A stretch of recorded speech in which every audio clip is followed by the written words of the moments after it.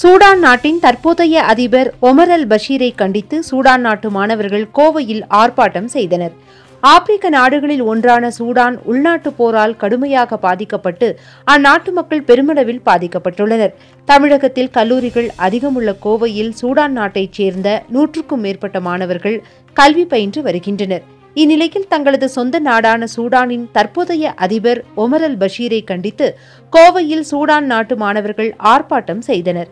கோவை தெற்கு தாலுகா அலுவலகம் முன்பாக நடைபெற்ற இதில் போர்க்குற்றம் இனப்படுகொலை ஆகிய குற்றங்களில் தற்போதைய அதிபர் ஒமர் அல் பஷீர் ஈடுபட்டு வருவதாகவும் சூடான் நாட்டின் நலன் கருதி அதிபர் பதவி விலக கோரியும் கோஷங்கள் எழுப்பினர். சூடான் நாட்டு கொடியுடன் அனைவரும் கூடி நின்று அரபி மொழியில் கோஷங்கள் எழுப்பியதை அவ்வழியாக சென்ற பொதுமக்கள் ஆச்சரியமாக பார்த்து சென்றனர்.